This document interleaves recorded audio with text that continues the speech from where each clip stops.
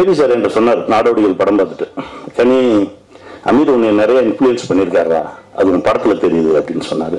அவர் வீட்டுக்காரமாக கூட கூட அவ்வளோ லாங் டைம் அவர் தங்கியிருக்க மாட்டார் ஒரே ரூமில் தங்கியிருந்தார். நடிகர்களுக்கு கொடுக்கக்கூடிய முக்கியத்துவத்தை வந்து இந்த மாதிரி குட்டி படங்களுக்கு கொடுக்கறது இல்லை யாருமே. நான் வந்து ஆந்திராவில் செட்டில் ஆயிட்டுலாம் சொல்லலை. சார் கேட்கும்போது சொன்னேன் எப்போ வரீங்கன்னாரு? சார் எப்போன்னு தெரியல. இங்கே இருக்கேன் ஷூட்டிங் போகும் ஷூட்டிங்ல நேரத்தில் நான் ஏதோ ஒன்று எழுதிட்டு இருக்கேன். நீங்க என்னன்னு சொல்லுங்க சார் நான் வந்துடுறேன் சார்னு சொன்னேன்.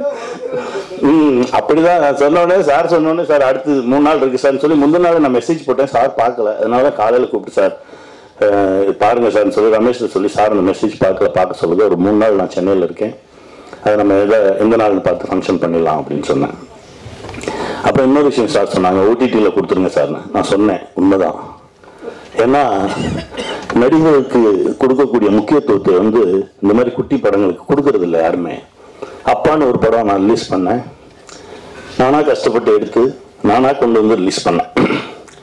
அந்த ரிலீஸ் ஆகி நாலாவது நாளோ அஞ்சாவது நாள் ஒரு பெரிய படம் வந்ததுன்னு சொல்லி அப்பா படம் தூக்கிட்டாங்க. ஏன்னா இந்த மாதிரி படங்கள்லாம் பேசப்பட்டு பேசப்பட்டு பேசப்பட்டு வெளியில் போய் ஏன்னா முதல் நாள் யாருமே அவ்வளோ வேகமாலாம் வரமாட்டாங்க. கொஞ்சம் ஒரு வாரம் பத்து நாளைக்கு அப்புறம் தான் இந்த மாதிரி படங்களுக்கெல்லாம் ஆட்கள் வருவாங்க. அதனால சொன்னேன் இப்போ வினோதேசத்தம்னு ஒரு படம் பண்ணேன். நான் தைரியமாக சொல்லுவேன் சார் எப்போ வேணாலும் பார்த்துக்கலாம் இருக்குது இங்கே நாலாவது நாள் தூக்கிட்டாங்கன்னா அதை நான் எங்கே போய் பார்க்க வைக்கிறது? அப்படின்னு தான் நான் சார்ட்ட சொன்னேன். சார் நல்ல ப்ரைஸ் வரும் நானும் நிறையா கான்டாக்டில் இருக்கேன். நீங்கள் சொல்லுங்க சார் நோ நம்ம தேட்டர் தான் ரிலீஸ் பண்ணோம் அப்படின்னாங்க. சரிங்க சார் பண்ணுவோம்.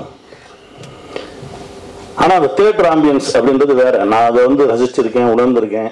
பட் ஆனால் இந்த மாதிரி குட்டி குட்டி படங்களுக்கு கிடைக்கக்கூடிய அந்த ஆதரவு இருக்குல்ல அது ரொம்ப குறைஞ்சிருச்சு அப்படின்ற ஒரு வருத்தத்தில் தான் நான் சார்ட்ட சொன்னேன். இப்போ சார் தேட்டர்ல பண்ணணும் முடிவு பண்ணியிருக்காரு அப்படின்றது எனக்கு கூடுதல் மகிழ்ச்சி. அந்த பெரிய துறையில் பார்க்கணும் அப்படின்ற சந்தோஷம் மிகப்பெரிய சந்தோஷம் சார். ரொம்ப நன்றி. உங்கள் கூட எப்பவுமே நிற்கிறோம் இன்னும் சாரை பற்றி சொல்லணும்னா சொல்லிக்கிட்டே போகலாம் ஏன்னா நான் அன்னைக்கு சொன்னதை அன்னைக்கு சொல்லுவேன் என் குருநாதருக்கு கொடுக்கக்கூடிய அதே அன்பும் அதே மரியாதையும் தான் இன்னைக்கும் சார் மேலே வச்சிருக்கேன். இன்னைக்கு மட்டும் இல்லை சார் எப்போ கூப்பிட்டா நான் போய் நிற்பேன் அப்புறம் எங்கள் அண்ணன். அண்ணனை பார்த்தாலே எனக்கு கொஞ்சம் பதட்டமாக தான் இருக்கும். விழுந்த என்னை தூக்கி டைரக்டர் ஆக்குனது அவர் தான் என்னை டப்பிங் ஆர்டிஸ்ட் ஆக்குனது அவர் தான் என்னை நடிகன் ஆக்குனதும் அவர் தான் நடிகன் ஆக்குனது எப்படி அப்படின்னா பருத்திவீரன் ஷூட்டிங்கில் இருந்தப்போ டெய்லி ஒருத்தன் வாசல் வந்து நின்றுட்டே இருப்பான். சரி தினம் நிற்கிறானே ஒரு ஒரு மாதம் ஒன்றரை மாதம் கண்டினியூஸாக நிற்கிறானே சரி இவனுக்கு அந்த விஷயத்த கொடுப்போம் அப்படின்னு சொல்லி ஒரு சீனு இந்த சீன் யார் நடிக்கிறா அப்படின்னு அவனே. "ஆ, சரி பண்ண சொல்லு. பதினெட்டு டேக்கு. போகிறான் போறான் போறான் போய்கிட்டே இருக்கு. கொஞ்ச நேரம் கழிச்சு யாரு? நீங்க தான் என்ன கொடுத்தா உங்களுக்கு அப்படின்னாரு. எனக்கு என்னங்க அவன் தரப்போகிறாங்க காலைல வந்து நின்னா அப்போ ஒழுங்கா பண்ண சொல்லுங்க. நானும் அவனை தனியாக கூட்டு போயிட்டு நடிச்சிடுறா. என்னைய போட்டு விடாதா அப்படின்னு. அவன் திரும்பவும் அதே தப்பு பண்ணான். திரும்ப அப்படியே என்ன முறைச்சாரு. முறைச்சு சட்டையை கழட்டுறா அப்படின்னு சொல்லி கழட்டி அப்படியே சட்டையை மாட்டி நான் நடித்தேன். அந்த பருத்தி அந்த சோன் பப்படி வாங்குற சீனு பருப்பு நான் போனது எப்படின்னா நிறைஞ்ச மனசு தோத்துருச்சு. ரொம்ப பெரிய வலி. ஆனால் எங்கண்ணா இருக்கீங்க அப்படின்னா நான் ஷூட்டிங் ஆரம்பிச்சு ரெண்டு நாள் ஆச்சு தேனியில் இருக்கேன் அப்படின்னாரு. நான் பாட்டுக்கு பேக் எடுத்துகிட்டு போய் அவர் ரூமில் வச்சுட்டு பாட்டு வேலை பார்த்துட்டு இருக்கேன். மூணு நாள் கழிச்சு கேட்டார்.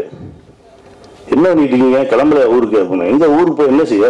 நான் வேலை பார்த்துட்டு இருக்கேன் அப்படின்னு. வேலை பார்க்குறீங்களா? ஏங்க ரெண்டு படம் எடுத்துட்டு என்னங்க? நான் இதே மிஸ் பண்ணுறேன் எதையோ கற்றுக்க வேண்டியது இருக்குது நான் அந்த படம் பூரா வேலை பார்க்குறேன் அப்படின்னு.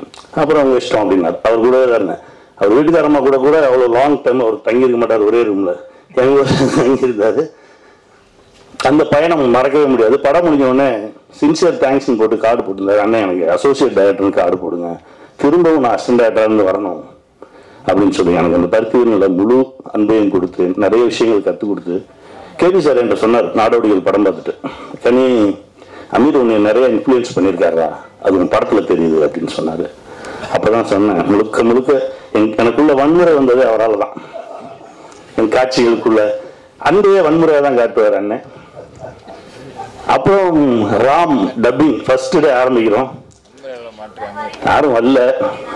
என்னண்ணே அப்படின்னா சரி ஆரம்பிச்சிரு. யாருக்கு பேச அந்த பஸ் கண்டக்டர் காம்பார் போய் பேசு அப்படின்னாரு. நான் தான் ஆரம்பிச்சேன் அப்படி. இந்த மாதிரி என் வாழ்க்கையில் ஒவ்வொரு இடத்துலையும் என்னை எடுத்துட்டு வந்து நிப்பாட்டினவர் எங்கள் அண்ணன். இன்னைக்கு அவர் இந்த திரைப்படத்துக்காக. இங்கே வந்திருக்க அண்ணன் வராருன்னு எனக்கு தெரியாது. சார் தான் சொன்னாங்க. அமீர் சார் வர பத்து நிமிஷத்துல வந்துருவாராம். அமீர் சார் வராரா? அப்படியா? அப்படின்னு சொல்லிட்டு நான் ஃபோன் பண்ணேன். அண்ணன் எங்கே இருக்கீங்க அப்படின்னு.